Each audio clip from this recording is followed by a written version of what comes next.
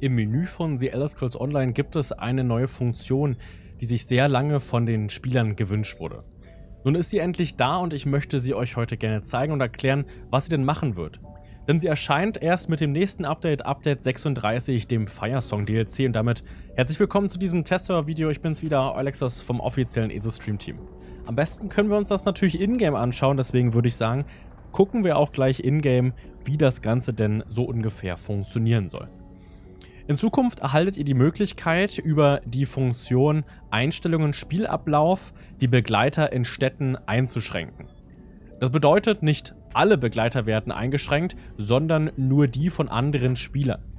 Das schließt alles an Begleitern ein.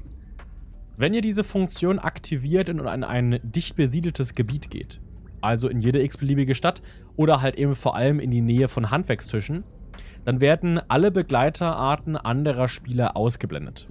Das bezieht kämpfende Begleiter wie die Gefährten mit ein, unter anderem aber auch den Bär des Hüters, natürlich auch solche Sachen wie die Dedrichten bzw. Edrichten Begleiter des Zauberers, dem explosiven Begleiter bzw. Scamp, sowie den, ähm, ich weiß gerade, wie heißen diese aufrecht laufenden Krokodile?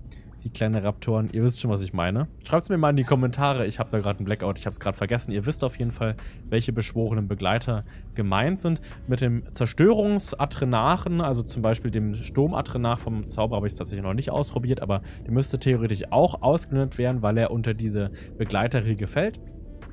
Das ganze Gewusel von ähm, den friedlichen Begleitern, die ihr als Sammlungsgegenstände beschwören könnt, die verschwinden auch es verschwinden auch die Gehilfen. Das heißt also, egal ob Händler, Banker, Gehilfe oder ähm, Arsenaltisch bzw. Arsenalbegleiter, auch diese verschwinden. Allerdings nur die von anderen Spielern. Das heißt also, eure eigenen seht ihr immer. Wenn ihr ein Hüter seid mit Bär und weiß was ich, ihr habt gerade eine Verwerterin, also ne, hier die Verwertergehilfin beschworen, die Lumpensammlerin, dann bleibt die trotzdem da, weil es eure ist. Es gilt nur für die von anderen Spielern und auch nur in dicht besiedelten Städten. Das heißt also, die krass bunten, glitzernden Wesen, die ihr in der Open World manchmal rumlaufen seht von anderen Spielern, die bleiben. Es gilt wirklich nur für Städte. Ich hätte mir tatsächlich gewünscht, dass es sowas wie ein äh, Mittelalter-Fantasy-akkurate Einstellung gibt, die auch noch mit dazu kommt, dass man alle zu krassen Sachen ersetzen kann. Na, also zum Beispiel, dass wenn man die ganzen übelst heftigen Reittiere und die super Special Begleiter nicht sehen möchte, dass man dann einen kleinen Haken umlegen kann, um dann diese super Special Reittiere mit den heftigsten Beschwörungsanimationen einfach, weiß was ich, gegen Standard-Reittiere zu ersetzen.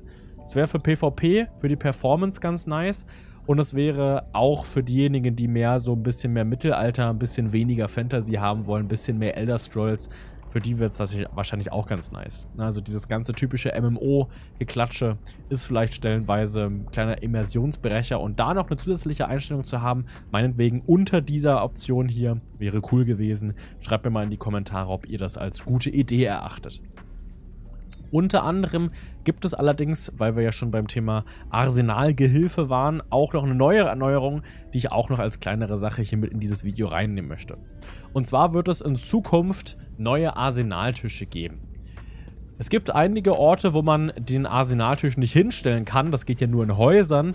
Und es gibt auch einige, einige Orte, wo man keinen Arsenalbegleiter beschwören kann. Also beispielsweise hier könnte ich den für 5000 Kronen erworbenen Arsenalgehilfen jetzt nicht beschwören, diesen Ork.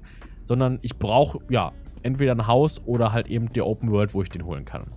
Allerdings wurden jetzt in der Kaiserstadt und in Cerodiil neue Arsenaltische platziert. das heißt also sowohl in der Kanalisation, das ist hier das Einstiegsgebiet der Kaiserstadt, dort findet man jetzt Arsenaltische, ne, zum Beispiel hier kann man jetzt diesen Arsenaltisch finden. Der ist etwas versteckt, wie ich finde. das heißt also, man muss, wenn man gespawnt ist, links entlang gehen. Und ich teleportiere mich jetzt auch nochmal rüber nach Cerodiil, damit wir auch da einmal einen dieser neuen Arsenaltische im PvP sehen können. Also wie gesagt, es handelt sich dabei um neue Arsenaltische im PvP, denn dort konnte man bisher nicht an Arsenaltische ran, beziehungsweise dort gab es einfach nicht die Möglichkeit, diese zu nutzen. Ich denke, das ist eine ganz coole Option. Ich suche den mal ganz kurz. Ich weiß gerade nicht genau, wo der hier steht. Wir sehen uns dann gleich, wenn ich den gefunden habe. So, ich habe ihn jetzt gefunden und ich finde, in Cerodi ist das sogar noch mal ein bisschen schöner gemacht als in der Kaiserstadt. Da hat er nämlich sogar ein neues Symbol bekommen. Ich, also ich kenne das Symbol auf jeden Fall noch nicht bisher. Das ist nach meiner Meinung ein neues Symbol. Das ist der Arsenaltisch also. Den gab es bisher jetzt noch nicht. Also auch ein neues Symbol passend dazu designt. Und jetzt beispielsweise hier im Altmeri-Dominion findet man den jetzt hier auf der linken Seite beim Westtor nach Elsewhere. Also nur in den Grenztoren. Ne, also nur in einen der beiden äußeren Tore. Wir können ja mal gucken. Vielleicht sehen wir den ja auch hier nochmal eingezeichnet. Guck mal hier. Im Dolchschutzbündnis befindet der Arsenaltisch hier hinter diesem Schmiedebereich. Ne? Also wenn ihr im äh, oberen Spawn seid, hier im äh, Nordtor nach Hochfels.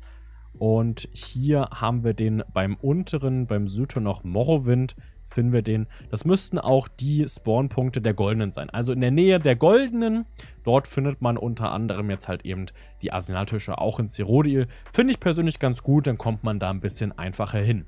Das sind aber nicht alle Erneuerungen, die es jetzt in The Elder Scrolls Online gab und es ist ziemlich wichtig, dass du dich gut informierst, was es so in Zukunft geben wird, denn das könnte auch für dich die Spielweise ändern. Was definitiv deine Spielweise ändern wird, egal ob du PvE oder PvP spielst, ist diese neue Funktion hier ein neues Markierungssystem. Ja, in diesem Video erfährst du, wie es funktioniert, wie du es nutzen kannst, um besser zu werden, beziehungsweise um effektiver in Zelda Online unterwegs zu sein. Schau dir das Video auf jeden Fall an.